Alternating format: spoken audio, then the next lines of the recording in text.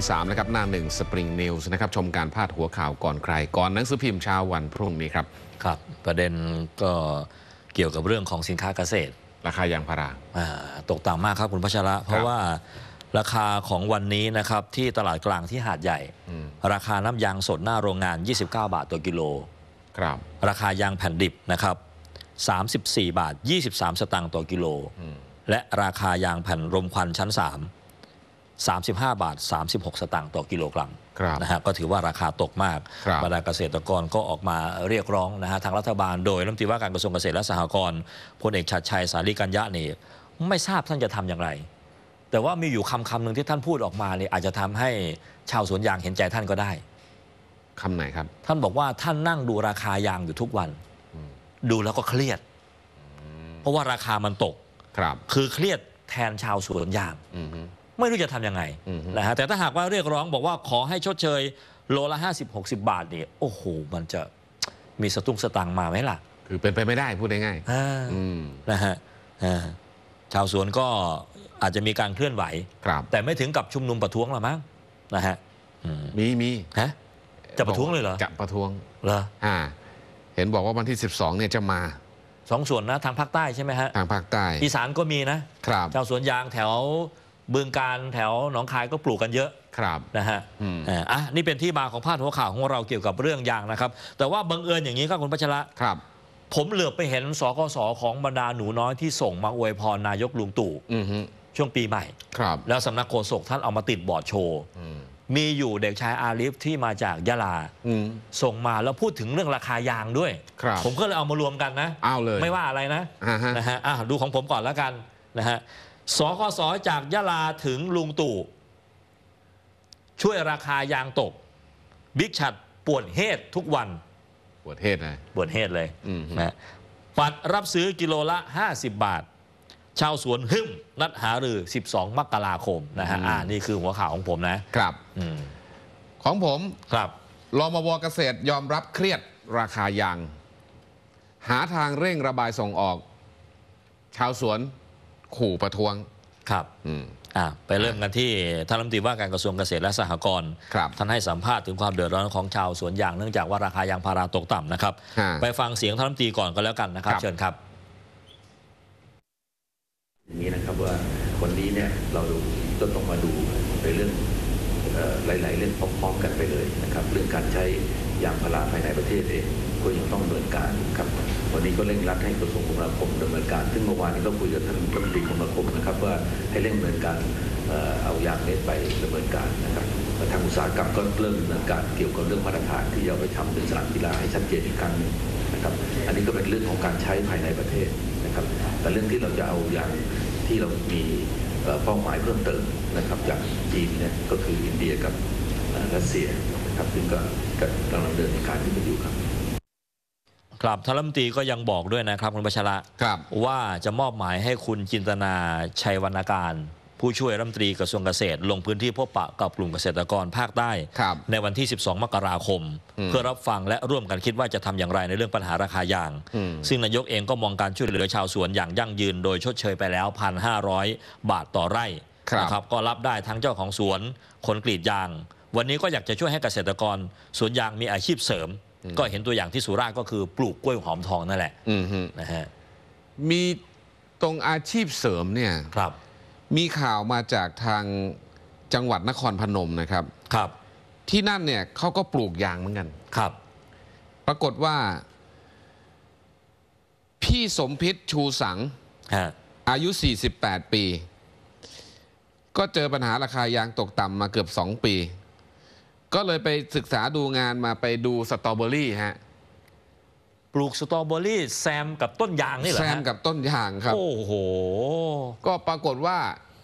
ประสบความสำเร็จว่างั้น ครับ อืม ช่วงที่ผ่านมาเนี่ย เดือนที่แล้วเนี่ย มีรายได้ชดเชยมาแสนกว่าบาท ก็ดีขึ้น เยี่ยมเลยฮะ อืมฮึ ครับอันนี้ฮะจะมารอยางอย่างเดียวก็คงจะไม่ได้นะครับอ่าเอ่อทางท่านรัฐมนตรีเองก็บอกว่าผมก็อยากจะระบายยางที่มีอยู่เนี่ยนะในสต็อกครับนะครับอ่ากำลังจะเดินทางไปประเทศอินเดียอืมแล้วก็ไปรัสเซียด้วยนะครับส่วนจีนก็เซ็นสัญญาขายให้จีนไปแล้วครับกำลังจะส่งมอบในเดือนมีนาคมเป็นเวลาอีก 12 เดือนจนครบ 2 0 0 0 0 0 ตันอืม นะฮะครับอ่าอันนี้ก็คือของท่านรัฐมนตรีนะครับ ส่วนทางชาวสวนยางภาคใต้ว่าไงล่ะครับฮึมห้ามฮึมห้ามนะครับคุณพัชระสวนยางภาคใต้เนี่ยบอกว่าวันฮะที่ 12เนี่ยเดี๋ยวครับจะต้องมาอ่าคุยกันแล้วก็จะว่าจะเอายังไงกันจะมาชุมนุมกันหน่อยไหมอ่าอ่าไม่กลัวหรอกนะ ว่าจะมีทหงทหารอะไรเนี่ย มาตรา14ก็ไม่กลัวเหรอไม่กลัวอ๋อเพราะว่ามันเดือดร้อนครับ อยากได้เท่าไหร่ล่ะ ให้ชดเชยอะกิโลละ 50-60 บาท ครับ ก็น่าจะเพียงพอทำให้เกษตรกรมีทางรอดอยู่ได้ในช่วงนี้ ทางรองโฆษกสำนักงานฮะตำรวจแห่งชาติพลตำรวจตรีปิยพันธ์ปิงเมืองเนี่ย ครับ บอกว่าได้ให้ตำรวจภาค 8 ภาค 9 ไปหาข่าวกับทางตำรวจสันติบาลแล้วว่าพี่น้องชาวสวนยางจะมาจริงไหม ครับ ท่านปิยพันธ์บอกว่า ก็เบื้องต้นพบว่ามีจริง ก็ไม่จริงอะคจะรับมาจริง ฮะเดือดร้อนก็มาจริงฮะ คราวนี้ตำตำรวจก็บอกว่า ถ้ามาจริงเนี่ยอันเนี้ยก็คงจะต้องปล่อยให้มาได้ เพราะว่าก็เป็นเรื่องของความเดือดร้อน ครับ ไม่ได้เกี่ยวกับการชุมนุมทางการเมืองอะไรฮะ อ่าแนวก็จะเป็นอย่างนั้น อันนี้ทางภาคใต้นะครับ ครับ ส่วนอีสานก็มีนะครับเอ่อคุณธีรชัยแสนแก้วอดีตรัฐมนตรีช่วยเกษตรนะครับก็ออกมาพูดในฐานะนายกสมาคมชาวสวนยางภาคอีสาน ฮะ บอกว่าตอนนี้โอ้โหราคามันตกมากครับพี่เบิ้มพี่พัชระฮะ ครับเพราะว่า ภาคอีสานเนี่ยนะครับราคายางก้นถ้วยอยู่ที่ 16 บาทต่อกิโลครับนะครับถือว่าต่ำมาก แล้วก็ตอนนี้มีการนัดหมายกับทางเอ่อกลุ่มเกษตรกรชาวสวนยางภาคใต้นะครับ ทางอีสานเนี่ยจะมาวันที่อืม13 มาที่โรงแรมดีเอมอรัลราชดาครับเพื่อที่จะพบปะพูดคุยกับแกนนำชาวสวนยาง 17 จังหวัดภาคใต้อืมซึ่งจะเดินทางมาวันที่ครับ12 และ 13 ก็จะมาเจอกันอือฮึที่กรุงเทพมหานคร แล้วมาตกลงกันว่าจะยื่นข้อเรียกร้องต่อรัฐบาลอย่างไรบ้างครับนะฮะอ่าอ่าอันนี้เป็นความเดือดร้อนของพี่น้องชาวสวนยางนะครับ ครับไปมาดูเรื่องนะเรื่องความเดือดร้อนของใครฮะของการปรองดองหน่อยปลองดองนะไม่ใช่ปูดองนะอะ ปรองดอง ปลองดอง เดือดร้อนก็เพราะว่า ครับไม่รู้จะสรรหาวิธีไหน อื้อหือตอนนี้กำลังมึนตึบเลยแล้วเขียนไว้ในรัฐธรรมนูญเลยดีไหมใส่คอปปเข้าไป คือหรือจะไม่เขียน ฮะ แต่เขียนหรือไม่เขียนเนี่ยก็มีคนค้านคนต้าน คนไม่เห็นด้วย หรือคนเห็นด้วย อืม ก็แบ่งฝ่ายกันหนุน แบ่งฝ่ายกันค้าน คืออาจารย์มีชัยก็ไม่อยากจะเอาเรื่องปลองดองเนี่ยไปใส่ไว้ในรัฐธรรมนูญ อืมเพราะถ้าใส่เอาไว้จะเป็นชนวนเหตุทำให้รัฐธรรมนูญไม่ผ่านประชามติ อืมก็เลยโยนมาหานายกลุงตู่บอกว่าให้นายกลุงตู่เนี่ยใช้อำนาจเถอะ ใช้อำนาจของนายก อืมส่วนในใช้มาตรา44หรือว่าใช้กฎหมายปกติก็แล้วแต่อืม นะฮะอืมท่านนายกก็รับลูกมาอืมก็โยนให้อาจารย์วิษณุไปศึกษาดู แล้วก็คุยกับทางสนชดูว่าจะเสนอกฎหมายเข้าไปเมื่อไหร่อ๋อรับลูกด้วย รับลูกแล้วอืมฮึนะครับ จึงเป็นที่มาของพาดหัวข่าวนะครับอ่าเรื่องของปลองดองครับอ่านายกรับลูกมีชัยอืมตั้งกรรมการปลองดองครับ โยนวิษณุหารือสอนชจะใช้มาตรา 44 หรือกฎหมายปกตินะครับอือฮึเอ่อหลังจากที่อาจารย์มีชัยโยนมา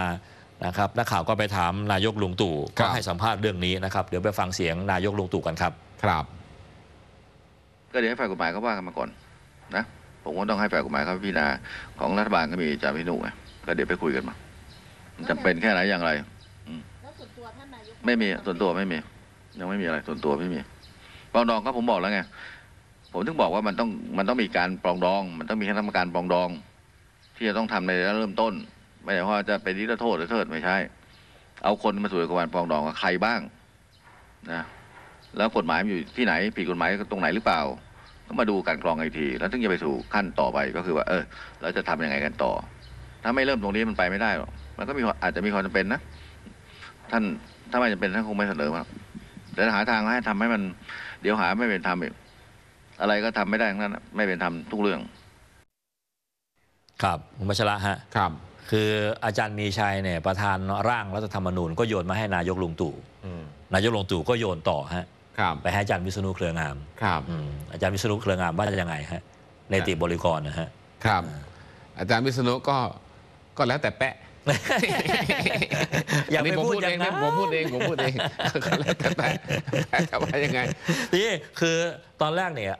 ท่านนายกก็เข้าใจว่าจะไปใช้อำนาจตามมาตรา 44ครับ นะฮะพอไปถึงอาจารย์วิษณุอาจารย์วิษณุก็แก้ให้ทันทีเลย อืม เก่งมากเลยอืมอาจารย์วิษณุบอกว่าไม่ต้องใช้มาตรา อืม44 ใช้กฎหมายปกตินี่แหละอืมนะครับสามารถดำเนินการได้จะเขียนอะไรก็เขียนเลยนะครับในกฎหมายปกติ อืมเดี๋ยวก็โยนเข้าสนชครับสนชก็ออกเป็นกฎหมายมาเองครับ นะฮะอ้าวไปฟังเสียงอาจารย์วิษณุกันครับ อ่า คือความต่างมันมีแน่ ถ้าจะเอาเรื่องปรองดองใส่ไว้เนี่ย มันอยู่ในที่ต่างๆ ถ้าพูดถึงว่าถ้าจะใส่ไว้ในกฎหมายนะ ความจริงพูดกันมาเยอะแล้ว แล้วก็ผมก็เห็นด้วยว่าหลายเรื่องอะเนี่ยมันใส่ในกฎหมายไม่ได้หรอกปรองดองเป็นเรื่องของจิตใจ เขียนในกฎหมายมันก็เหมือนบังคับให้คนทำเรื่องโน้นเรื่องนี้ แล้วก็สุดท้ายก็ทำไม่ได้ เพราะเจ้าหน้าที่หย่อนยานไม่ปฏิบัติตาม แล้วก็การไม่ทำตามกฎหมาย มันก็ต้องไปจบกันที่โรงศาลซึ่งการที่เขียนไว้ในกฎหมายแล้วไม่ทำตาม แล้วก็ต้องไปศาลมันก็คือการไม่ปรองดองอีกอย่างหนึ่ง เป็นการสร้างเป็นการใช้วิธีความไม่ปรองดอง เพื่อจะบังคับให้เกิดความปรองดองมันยาก แต่ว่าบางเรื่องเนี่ยมันเขียนได้ การเขียนในมาตราสีนั้นมันไม่ยั่งยืน เพราะว่าเราไม่รู้ว่าสุดท้ายต่อไปจะมีการเอ่อรื้อหรือไม่อะไรก็ตามที แล้วมันเป็นกระบวนการที่อาจจะไม่ได้ผ่านการระดมความคิดเห็นคนมาก มันก็อาจเพราะว่าคำสั่งคอสชที่ใช้อำนาจตามมาตรา14 นั้น มักจะออกไปโดยความเร่งด่วน แล้วก็แก้ปัญหาเฉพาะหน้า แล้วหวังว่าวันหนึ่งก็มาตรการนี้มันก็จะจบไป มันก็ไม่ต้องมีกลับเข้าไปสู่ระบบปกติ แต่ปรองดองเนี่ยมันยืดยาวมันทำไม่ไม่เสร็จภายในปี 2 ปี เพราะฉะนั้นความชัดเจนของคำสั่งตามมาตรา 14 เนี่ยมันไม่ไม่มากเหมือนกับเขียนในรัฐธรรมนูญหรือเขียนในกฎหมายไอ้ขั้นจะเขียนในรัฐธรรมนูญก็เท่ากับเป็นการบังคับว่าต้องเขียนเสร็จภายใน 17 มกรา 29 มีนาอะไรมันมันต้องซึ่งมันก็อาจจะบีบจนเกินไป แล้วทำให้รัฐธรรมนูญยืดยาว แล้วก็อาจจะไม่ไม่ทันสมัยในวันหนึ่ง เมื่อวันวันหนึ่งมันเชย มันไม่ได้ผล ก็กลายเป็นต้องไปแก้รัฐธรรมนูญซึ่งแก้ยากเผื่อแก้ไม่ได้ซะอีก เพราะฉะนั้นถ้าเขียนในกฎหมายธรรมดาก็อาจจะง่ายกว่า ถ้าจะต้องเขียนในกฎหมาย แต่ว่าหลักมันก็คือใช้มาตรการอื่นที่ไม่ใช่กฎหมายดีกว่า เว้นแต่จำเป็นจริง ๆ แต่ยอมรับว่าบางเรื่อง เช่นสมมติถ้าจะอภัยโทษอะไรต่ออะไรเนี่ยมันก็ต้องใช้กฎหมายแหละไม่งั้นมันจะไปอภัยกันได้อย่างไร อย่างนั้นก็อีกเรื่องหนึ่งทั้งหมดนี่อยู่ในหัวข้อเรื่องปรองดองเนี่ยอ้าวเป็นยังไงฮะอาจารย์วิษณุอธิบายความชัดเจนครับนะฮะอืมว่าคือถ้ามาตรา 44 นี่มันใช้เฉพาะหน้าอืมฉุกเฉินเร็วอืมๆแต่ว่า เรื่องปรองดองอาจจะใช้เวลาปี 2 ปี ครับ ไปเขียนไว้ในกฎหมายธรรมดาก็ได้มีเวลา ฮะถ้าหากว่าจะนิรโทษกรรม อืม ก็ต้องไปออกเป็นกฎหมายอยู่ดีครับ นะฮะอืม ในขณะเดียวกันทางด้านพรรคประชาธิปัตย์นะครับพี่มาร์คอภิสิทธิ์เวชชาชีวะ ครับ หัวหน้าพรรคก็ออกมาแสดงความเห็นด้วยนะครับกับแนวคิดของอาจารย์มีชัยว่า ในการที่จะเอาเรื่องปรองดองเนี่ยไปใส่ไว้ในกฎหมายลูกหรือกฎหมายอื่น ไม่ต้องใส่ไว้ในร่างรัฐธรรมนูญนะครับ ครับ ไปฟังเสียงพี่มาร์คอภิสิทธิ์กันครับ นะครับตอนนี้อาจารย์มีชัยออกมาบอกว่ายืนยันเลยว่าไม่มีคอปปอยู่แล้วเนี่ยจะเป็นตัวที่ทำให้การประชามติเนี่ยผ่านไปง่ายขึ้นไหมครับก็อย่างน้อยเนี่ยผมคิดว่าก็จะเลี่ยงปัญหาของฉบับเดิม ซึ่งถูกคว่ำไปนะครับเอ่อเพราะฉะนั้นก็ตรงนี้ก็อาจจะทำให้ช่วยให้หลายฝ่ายสบายใจมากขึ้น ว่าไม่มีกลไกที่ขาดความชัดเจนในเรื่องขอบเขตอำนาจหน้าที่ หรือว่าจะไปกระทบกับเอ่อ ปัญหาต่างๆ ทางการเมืองที่ตามมาอาจารย์เห็นด้วยใช่ไหมครับว่ามันเป็นเรื่องที่ดีผมมองว่าผมมองว่างานเรื่องการปฏิรูปก็ดีเรื่องปรองดองก็ดีเนี่ยมันคงไม่สามารถแก้ได้โดยการมีองค์กรอย่างคอปปนะครับเพราะฉะนั้นที่ท่านประธานกรรมการพูดเนี่ยผมคิดว่าก็ตรงนะครับก็คือว่ามันจะต้องไปใช้วิธีอื่นนะครับหรือว่าเครื่องมืออื่น รัฐธรรมนูญเป็นเพียงองค์ประกอบหนึ่งเท่านั้นเองครับตอนนี้ ครับอะนี่ก็เป็นความเห็นของหัวหน้าพรรคประชาธิปัตย์นะฮะครับเอ้คุณพัชระวันนี้พรรคเพื่อไทยไปไหนอะไปไหนครับ ผมตรวจสอบข่าวดูไม่เห็นมีคอมเมนต์จากพรรคเพื่อไทยเลยนะอืมฮึวันนี้นะฮะครับหรือมัวไปแจกปฏิทินอยู่หรือเปล่าเออไม่รู้ นะฮะอืม เห็นเงียบๆนะครับ ครับอะนี่ก็คือเรื่องประเด็นการเมืองนะครับอ่าเราพักกันอีกครั้งหนึ่งครับ เดี๋ยวกลับมาเบรกสุดท้ายครับ ครับ